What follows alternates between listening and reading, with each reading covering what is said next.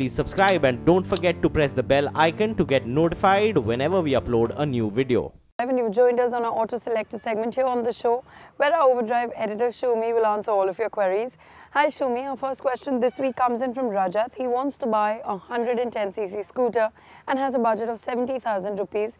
He wants to know whether the Honda Activa 5G is a good buy or is there any other scooter that he should go for? Rajat, the Activa 5G is the safest scooter you could buy with your money, but it's not the best scooter, I think. You'd get better value for about the same amount of money if, for example, you went for the Access 125. I know I'm asking you to increase the displacement of the scooter you're buying, but trust me, it's a far superior scooter in practically every way you can think of, and I don't think the price is significantly higher. Within the 110cc scooters though, you've also got some solid options. If you want something sporty, look at the Scooty Zest. It's brilliant, but it's very, very underrated. Sharing the engine with that is the usual alternative to the Activa, and that would be the Jupiter. Well, our next question, Shumi, comes in from Cheng Fung. He says that he wants to buy two automatic petrol cars. One is for city driving, and he's currently looking at either the Redi-GO, the Celerio, or the Kwid. The price bracket would be between 4.5 to 6 lakh rupees. The second car is for driving outstation about 300 kilometers once in a month. His shortlisted uh, the Baleno CVT, the Nissan Micra or the Ignis.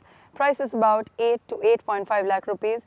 That is what he is ready to shell out. Is it worth the pay or should he shell out a lakh more for the Baleno CVT? Chen, I would start your search at the Kwid. The Renault Kwid won our uh, small car test very recently. The option to that is the Maruti Celerio, which we've also really enjoyed having on our long-term fleet. So those are the two cars that I would say you need to pick between for your city car.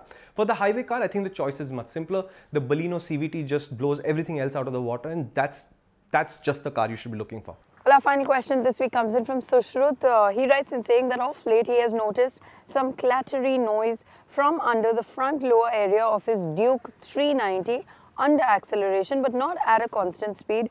It feels something that is about to snap on the motorcycle. What could it be? Sushrut, old motorcycles rattle a bit. There's no getting away from it. Uh, in the specific case of the KTM, check your belly pan. That's probably where the noise is coming from. And when they get loose, it does make a something's about to break clattery kind of noise. Not really a critical problem.